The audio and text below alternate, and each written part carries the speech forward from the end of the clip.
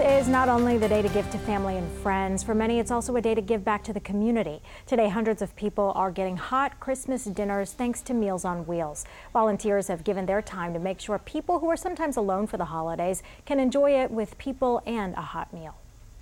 Meals on Wheels have been a great, great, great help to us. Some of us have uh, been blessed in life, and for us to to have the opportunity to go out and help others that aren't as fortunate means a lot, and it's a great thing to do, not just on Christmas, as Mindy said, but to be able to do this uh, any day of the year. They certainly need the help. Meals on Wheels has delivered Christmas meals to Central Texans for more than a decade. Austin